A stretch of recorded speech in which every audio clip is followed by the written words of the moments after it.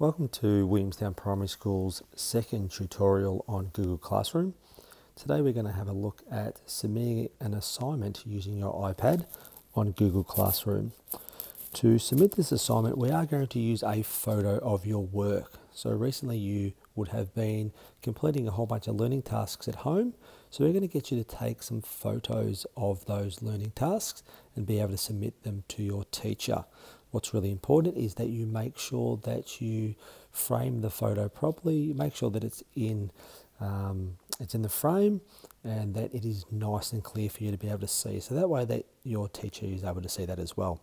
So we're going to go into Google Classroom, click into the app, and we're going to be sitting here on our Google Classroom. Now you can see the difference between two posts that we have here.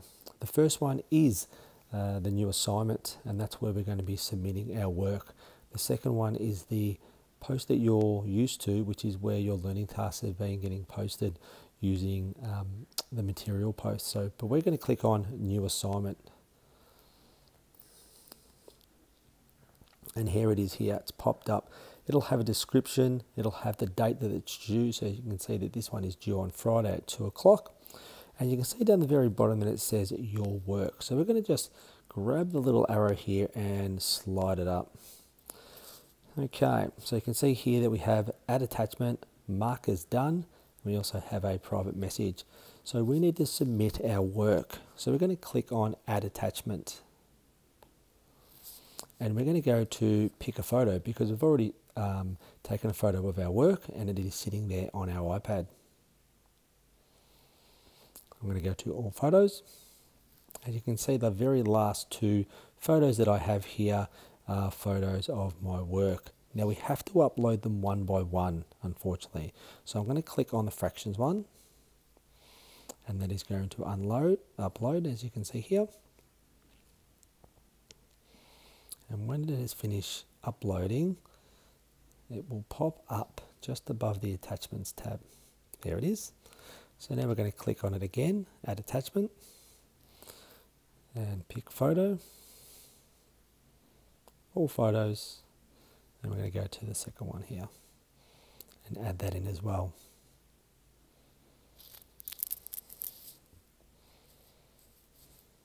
Now if you're working off a, uh, a PC or a laptop, uh, a Mac laptop, um, that it works pretty much the same, it just looks a little bit different. But I'm going to go into add private comments and I'm going to write a comment to my teacher. Hi, Mr. Pure. Thank you for viewing my work. There we go. I'm going to send that, send the message, and then there you go. You can see there's a message here. And what will happen is that when Mr. Pure sees my work, he will then be able to send me a comment back as well.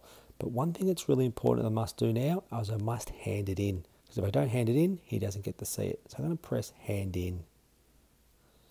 You can see here, do you uh, hand in your work? Two attachments will be submitted. Yep, hand it in.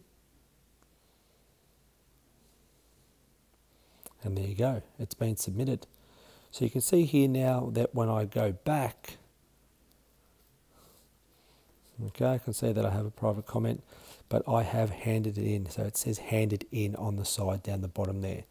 Now what I can do, if I've made a mistake or if I want to add something else, I can just open it back up, click on unsubmit, and it says unsubmit. And there you go, we're back here. What this means though is that I can either change the work that I've sent through or I can add something else again. So I can click on add attachment go back to the pick a photo. I'm going to pick one of the funny art photos I did. I'm Going to add that as well.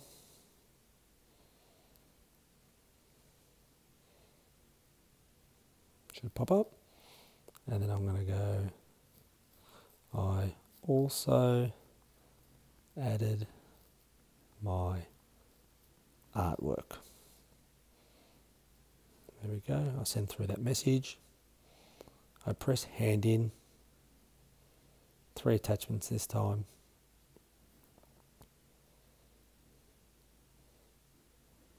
As we just wait, as you can see, it has been submitted because it says unsubmitted. You can see at the top here, it says handed in. And that's how you submit an assignment on Google Classroom.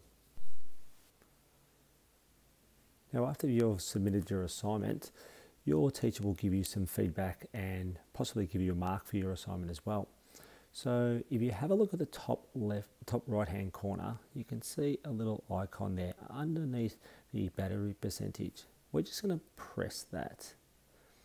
And as you can see, it pops up, and this is where all of the, the assignments that I've submitted will be sitting. You can see the assignment that I recently submitted.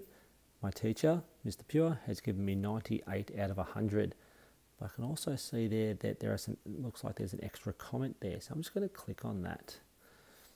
And you can see the our screen has popped up. I'm just going to slide that up. So you can see here, I have 98 out of 100. I have Stephen Pure. Well done, Matthew. Your work was well presented and neat. So we have feedback from your teacher. You have a mark. And if you wanted to, you are able to comment back as well. So that is the way in which you submit an assignment to your teacher and the way in which they will give you back some information as well, give you back some feedback.